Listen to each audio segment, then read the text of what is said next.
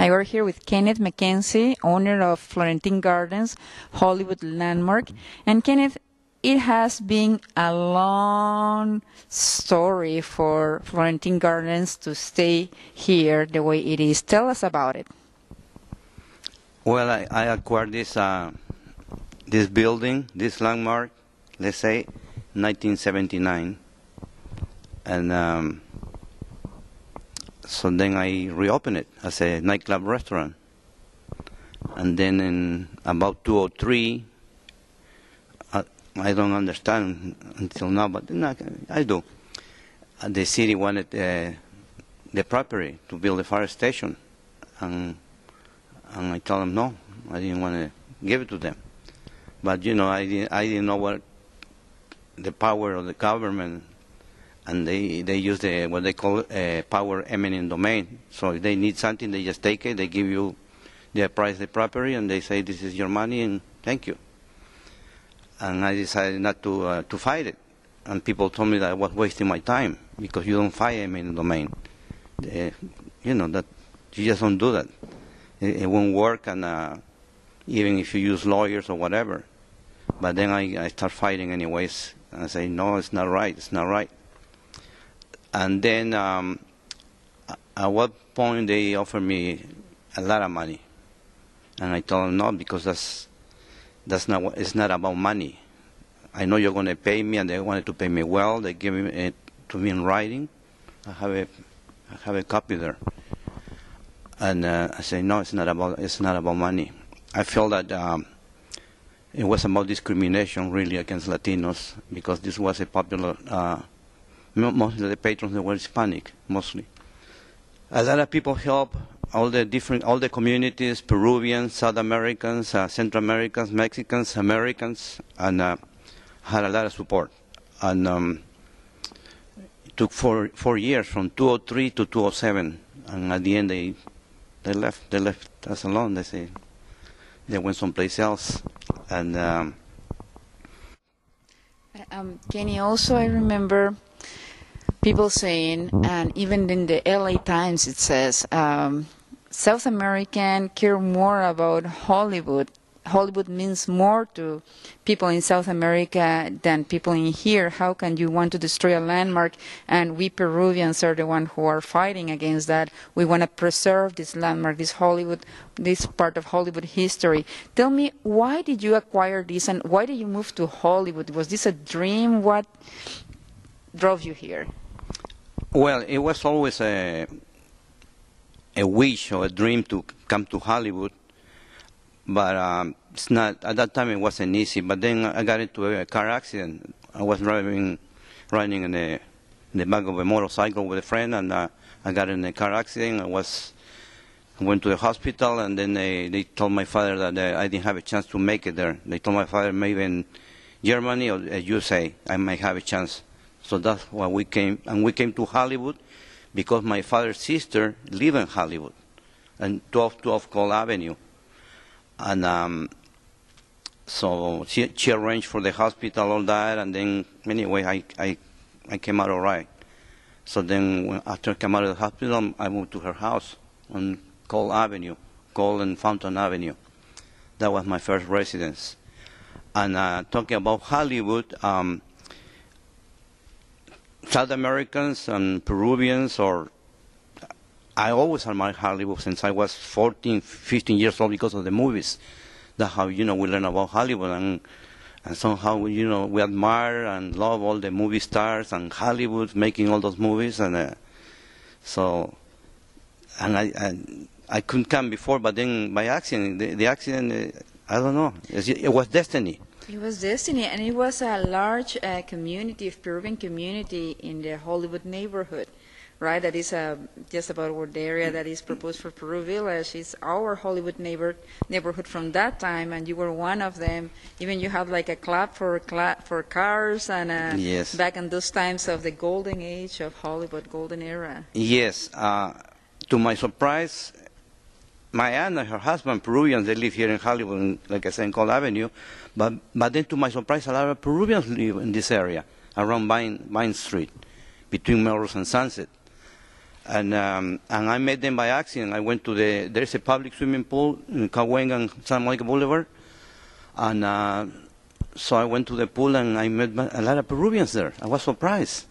And it was a it was a lot of uh, Peruvian businesses too, and still some of them are still there. Yes. And also, you were telling me about the cowboys in that area. They were like was like the Home Depot. It was incredible, right? In that uh, that Hollywood time. Can you tell us a little bit about it? Yes. Um, well, there was so many Peruvians in the area that we even started a club, a car club.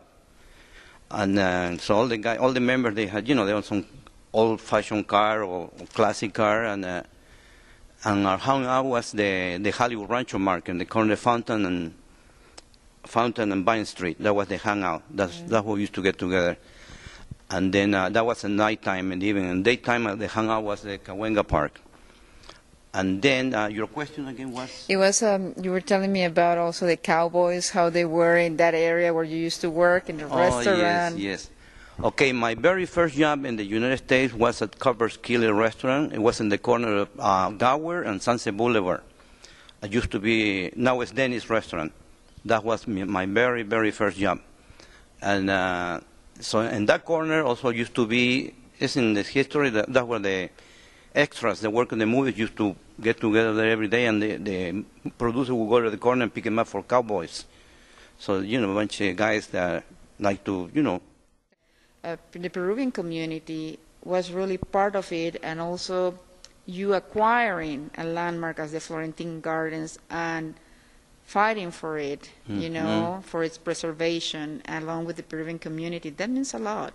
it's, it's an honor. To me, it was an honor to, uh, to be fighting for, uh, to, you know, to preserve a landmark.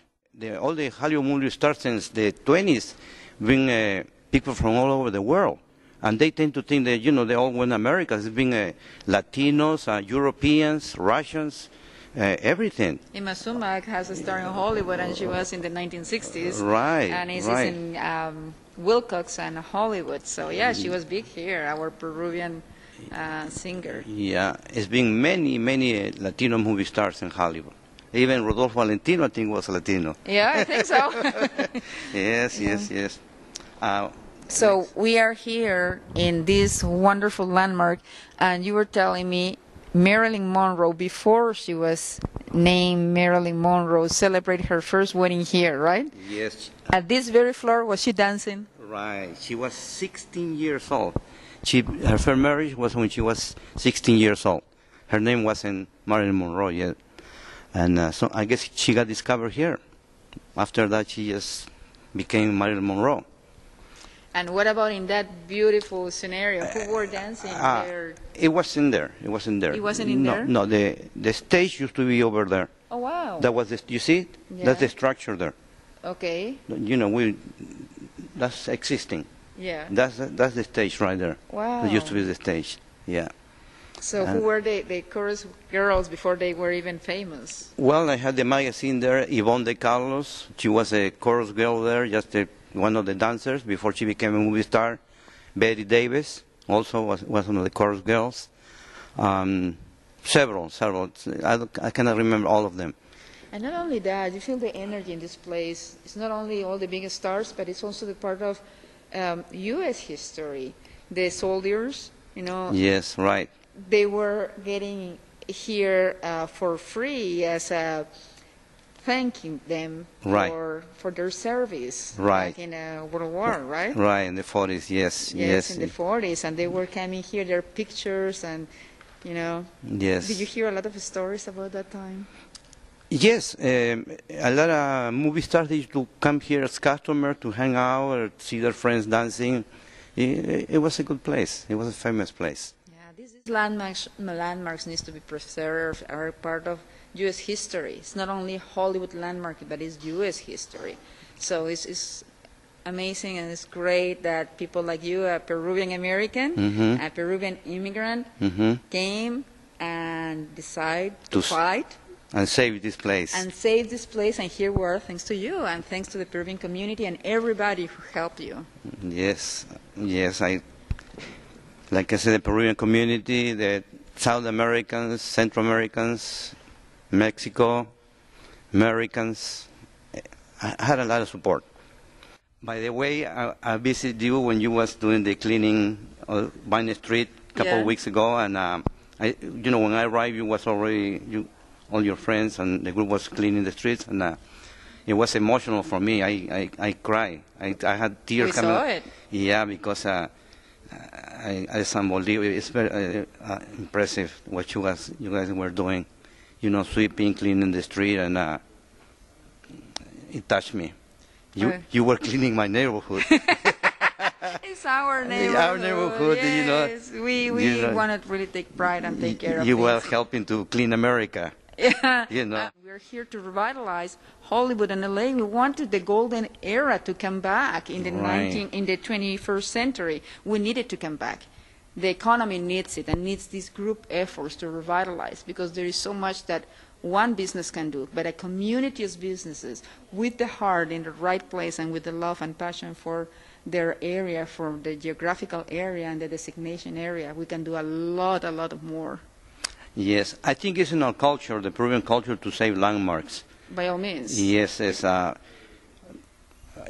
that's that's who we are. You know, like Machu Picchu, all those places in Peru, and the, the, the many, uh, Huacachina, many, many, many, Sacsayhuaman. We- we- unbelievable. That's in our genetic code. ex- That's in our genes. right. We do not destroy landmarks. Right. Landmarks are part of us. It's part of who we are. It's, They remind us of where we come from and where we're going. So for us, we take it seriously, and you're a living proof of that.